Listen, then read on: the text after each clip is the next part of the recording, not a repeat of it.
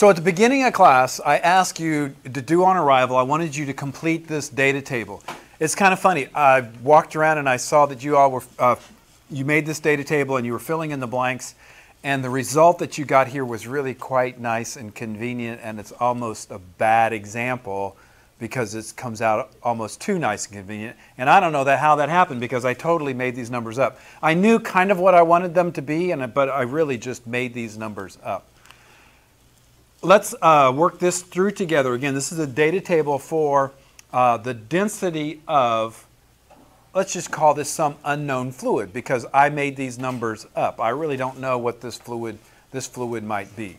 But this might, these, these would be the experimental results that you would get if you measured the, the mass and volume of some liquid. So help me out. And I don't want you to, if you have the numbers where you did not restrict it to a certain number of sig figs, I want to write is maybe like four or five digits right here. What do you get when you divide 147 point, what do you get when you divide 147.25 by 159, Mitchell? Sorry? Do you know what you get when you divide 147.25 by 159? Uh, I don't know. You raised your hand like you were going to tell me. Malloy, what'd you get? uh, 0.926. 0.926. Okay? Uh, what about this one? 110.75 divided by 102. What'd you get there, Dominic? Um, 1.085. 1.085, okay? And then what do you get when you divide 74.55 by uh, 81? Anthony? 0.92. 0.92, okay? And then one more, 26.05 divided by 22. Anybody, anybody, anybody? Anybody, anybody? Yes, Tyler. 1.9. Okay, these probably had more digits on your calculator, um, but, eh, but you listen to your, you, know that when you're calculating, you have to limit it to the proper number sig figs. So, well, yeah, look at this, guys. You, this one's limited to 3. Uh, this one's actually 4, so this one might be 9. Um, this is limited to this. You do, you do it exactly what I told you to do. Your answer can only have as many sig figs as the term with the least number of sig figs. So you did this exactly right.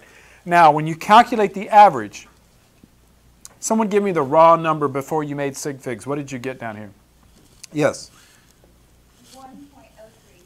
1.03.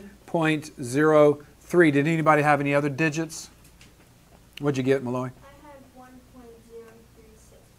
I had 1.0365. 1.3065. Does that look like something? Uh, somebody else get this number? It's a lot of digits. It's too many digits.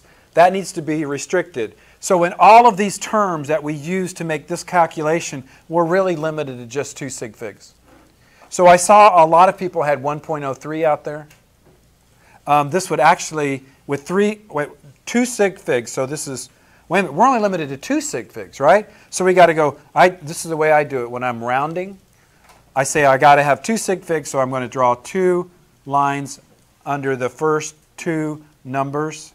And then I'm going to look to the right of the last one, and that's the three to tell me whether I am whether the zero stays the same or whether it goes up. It's a three, so the zero stays the same, so I've got to erase this. So the average density for this fluid, based on the four measurements, 1.0 with two sig figs. All right? If you got that, raise your elbow high in the air and pat yourself on the back. Okay?